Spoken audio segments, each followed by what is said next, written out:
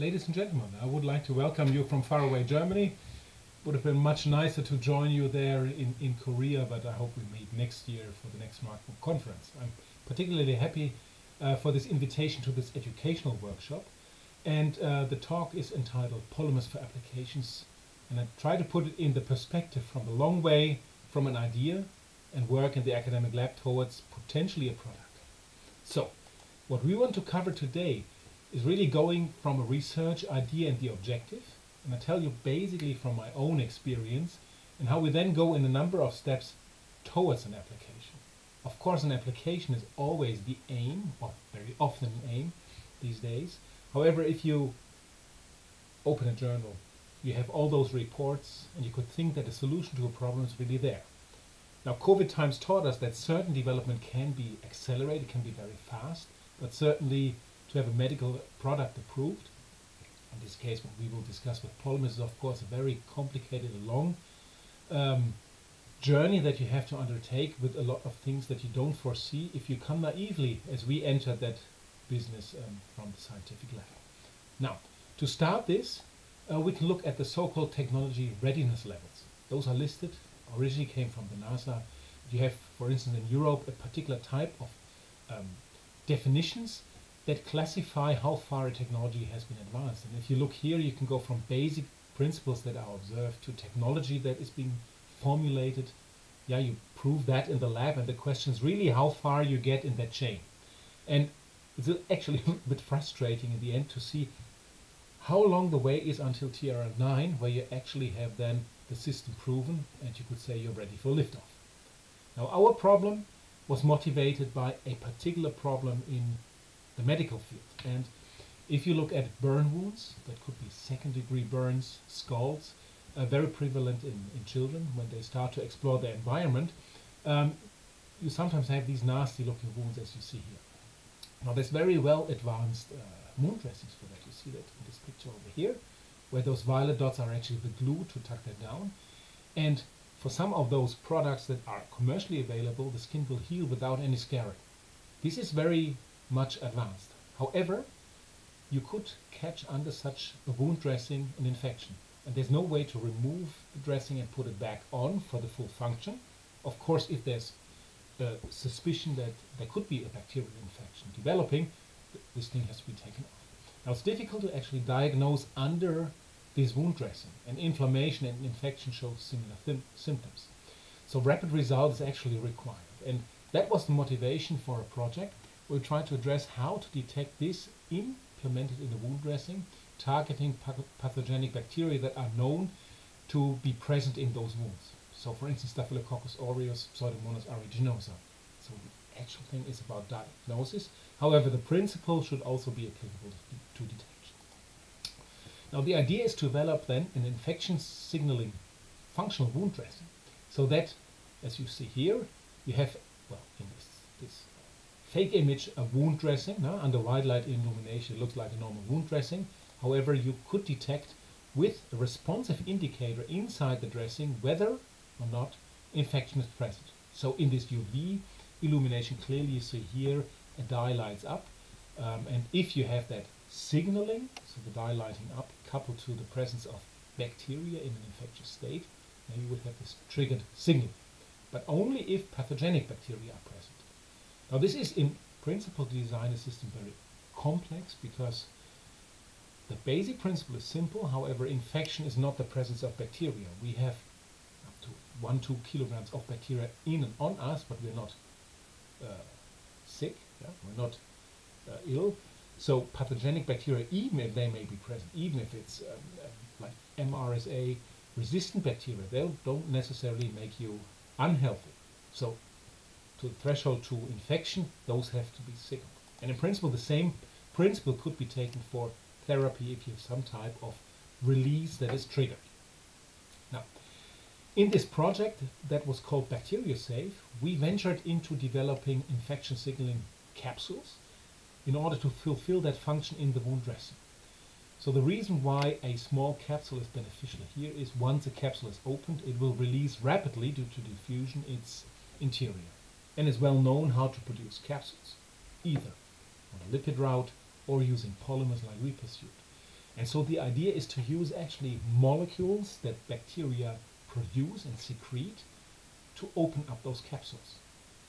If this is a selective process, as you see here, those enzymes or um, uh, toxins or virulence factors secreted by the bacterium, if they destabilize the wall, or maybe digest the wall, case of an enzyme, this wall would open up, and uh, dye molecules you may have inside can diffuse out. And that goes very rapidly if those are small capsules with sizes on the order of 100 to 200 nanometers in diameter. So you can imagine light on if you have a highly concentrated dye inside the vesicles that is then released and lights up because it is diluted.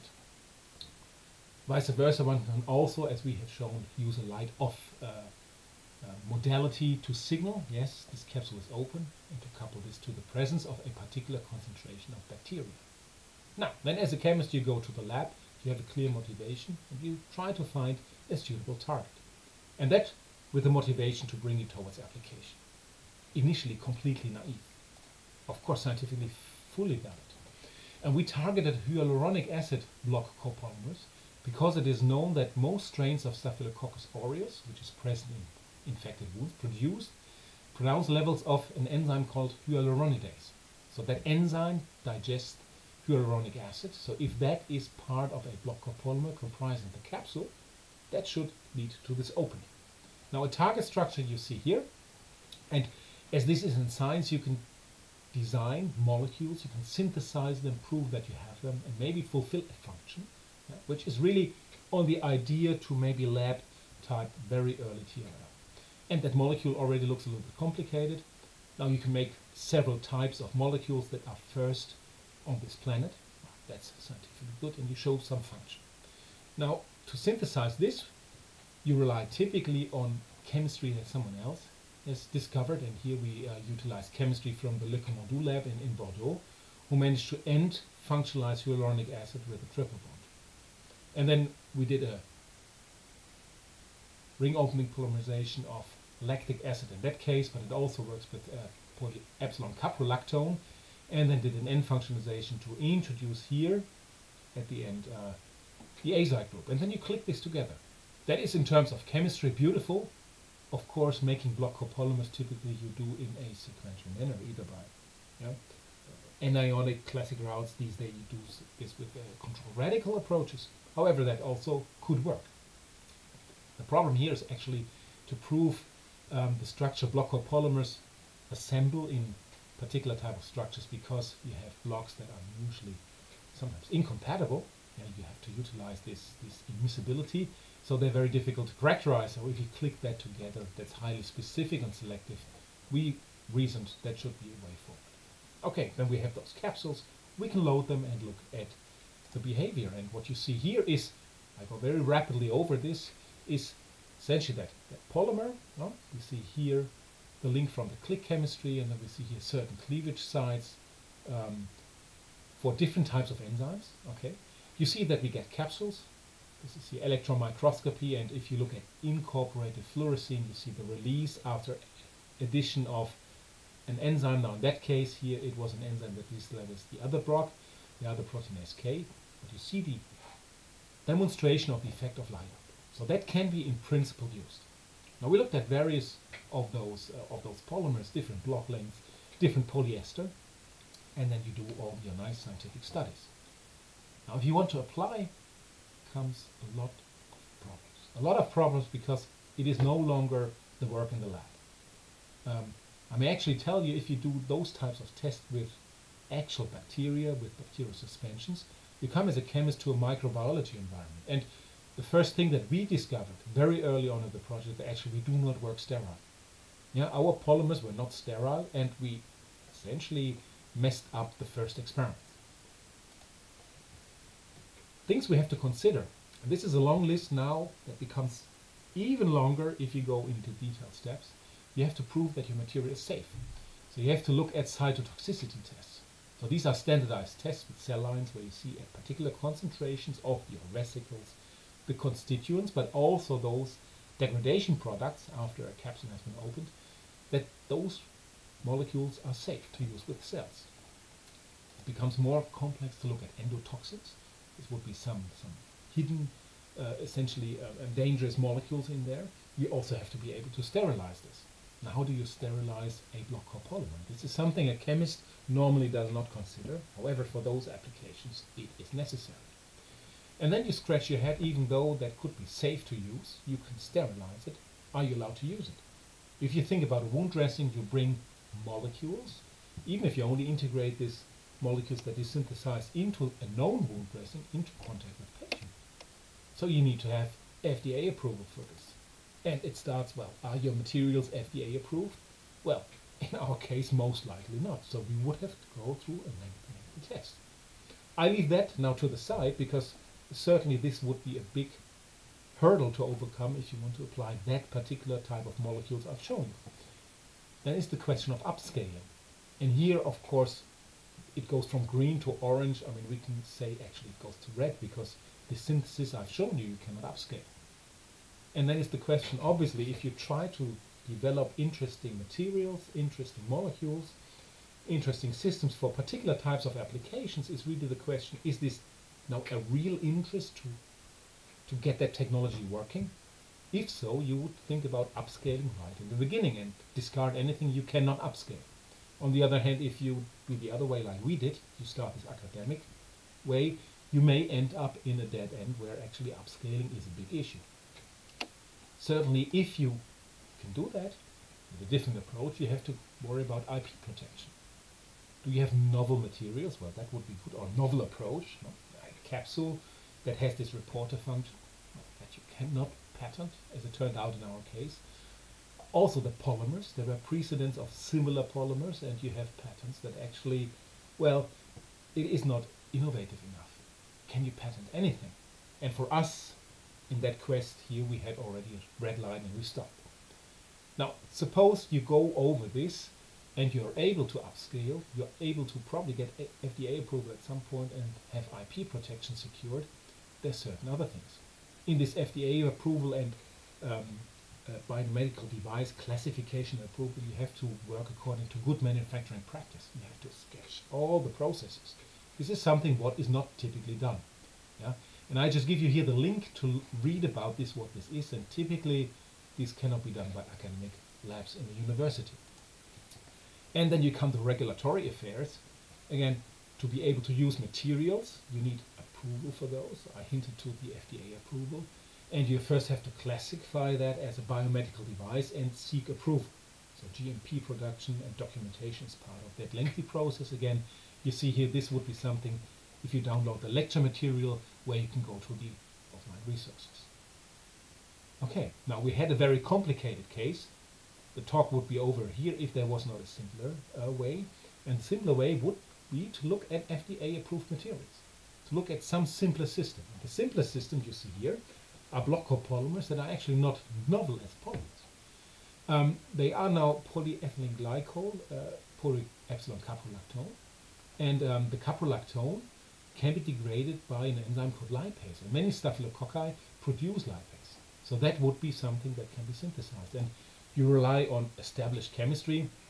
This is work here uh, that we followed uh, uh, from Jan Feijen, who, whom I met when I was a PhD student at the University of Twente. And they developed those tin uh, octoate catalyzed ring opening polymerizations, and that is very handy to produce according to approved manners block copolymers of that sort, where we have now an enzyme labeled bond, the, the ester bond in the hydrophobic block. And you can also then show that you can make those materials, you get capsules, either by the AFM data you see on the left hand side, yeah, those large bits here are, um, are, are those capsules. You see here, it goes up to 70 nanometers, they flatten out a little bit, and you see in the confocal microscope here on the right hand side where we have labeled um, actually the hydrophobic wall with a dye called Nile Red. I'll show you the structure on the next slide.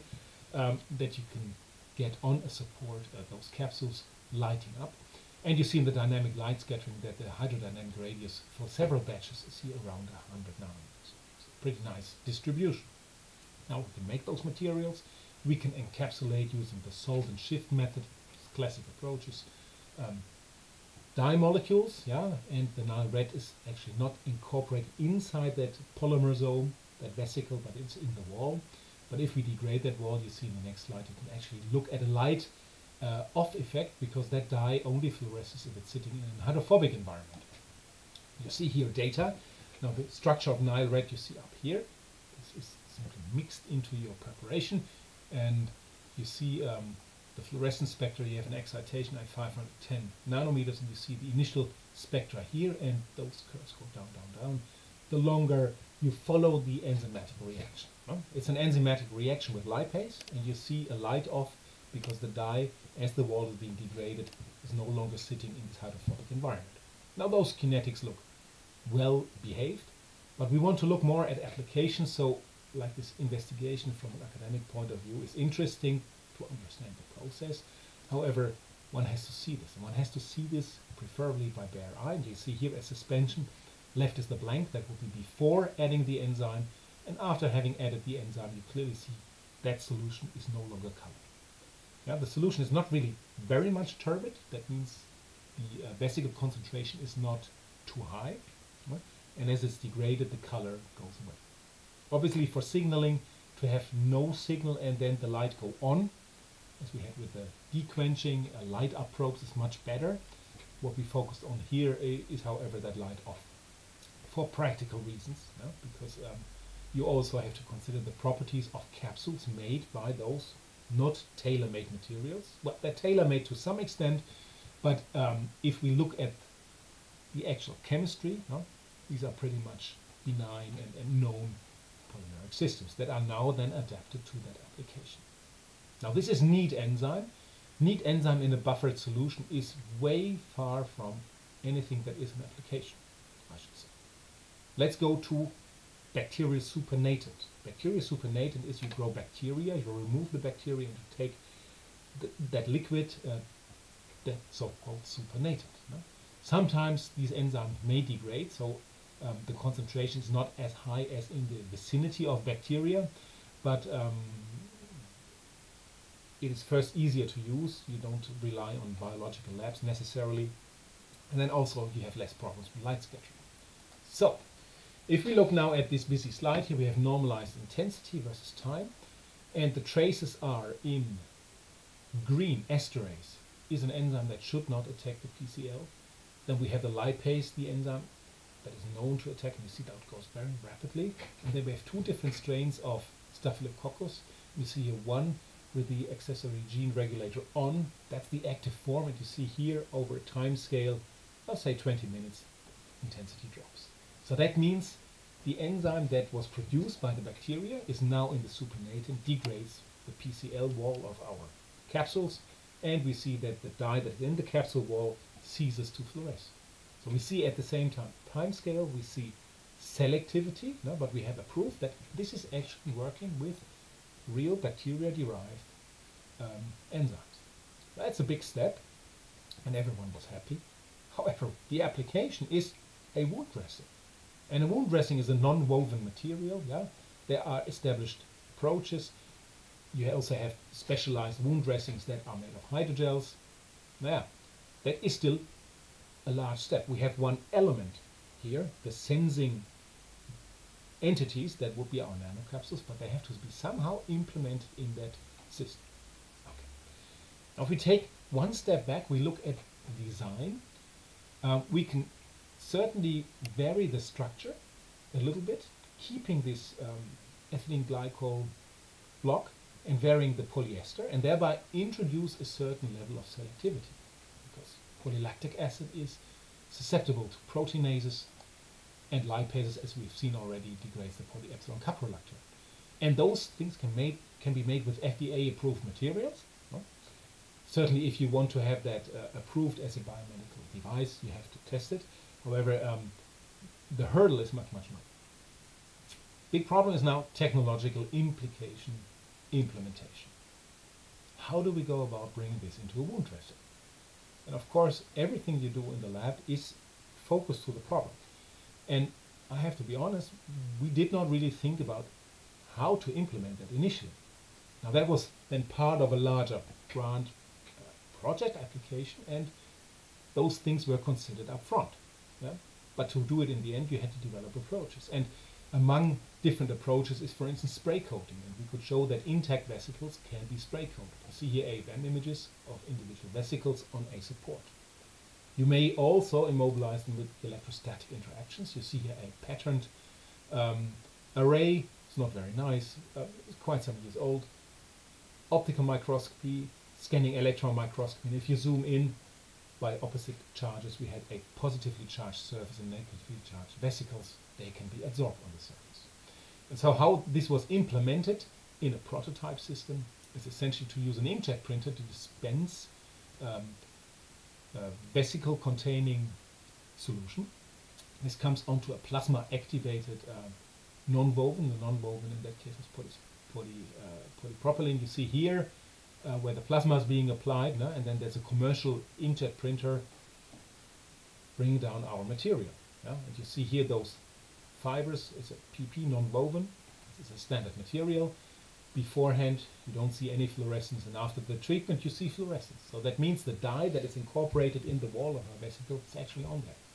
And you can also show in a lab type experiment that this works. It's a validation. If we look at various samples here before incubation with white light, you see nothing. Before incubation you see those are pink, no, that's the Nile red. And after uh, three hours of incubation in solution of uh, uh proteinase K, you see that this color is gone. This is under UV irradiation before and after, and in between we just took every half hour uh, picture, not to photo bleach the dye. So that means here we have this entire way to a small scale production from roll to roll, but half of the problem is missing. Yeah? Well, we don't have approval uh, uh for a biomedical device. No? Um, I cannot really tell you what the status here is in terms of patenting, but I this is something that is essentially ongoing work. Yeah? And it takes years. So whenever you read something is revolutionizing the world tomorrow, I would be very skeptical because sometimes that actually works, but it requires actually carrying this from academia, in my opinion, giving this to specialists in the current way of thinking. Okay. We have worked, I should also mention this, on a separate approach, going simple, simple is better, to take a wound dressing material that also is approved. Yeah? Uh, is also um, anti, um, antibacterial to some extent, and essentially implement a colorimetric function. That can be done by um, conjugating chromogenic or fluorogenic substrates. Those are molecules that possess certain enzyme labile bonds, and a liberated dye changes either its spectrum or it lights up.